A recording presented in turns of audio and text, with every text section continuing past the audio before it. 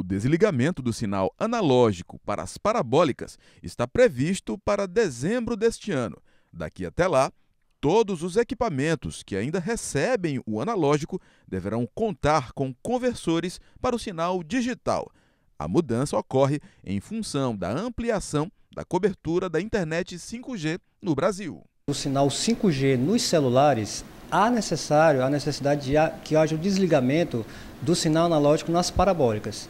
Esse desligamento já tem sido programado, como você falou, já tem um cronograma anterior e já foi inclusive adiado. A previsão era que fosse adiado no início do ano, a gente, a Anatel adiou até agosto, vai se iniciar, e no, durante o ano todo de 2024 vai ocorrer o desligamento definitivo dessas parabólicas analógicas, para que justamente ocorra a expansão da tecnologia 5G de celular nas cidades que ainda não têm. O diretor técnico da TV Assembleia explica que a troca das antenas antigas por equipamentos mais modernos vai proporcionar uma melhor experiência com a imagem das telinhas. Vai facilitar é para que as pessoas que não têm capacidade ou não têm condições de, de pôr equipamentos mais sofisticados e pôr parabólicos maiores, eles vão trocar de antena, mas o processo digital continua.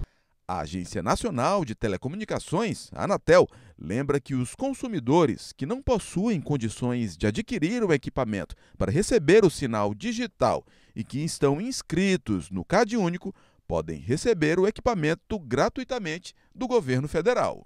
A desativação dessas parabólicas para a população de baixa renda inscrita no cadastro único do governo federal, essa troca ela pode ser de forma gratuita, acontecer de forma gratuita bastando que a população entre em contato, tem um site é, criado pela Anatel para isso, que é o sigantenado.com.br, tem um 0800 também, onde a população pode fazer justamente essa solicitação de agendamento para a troca dessas parabólicas.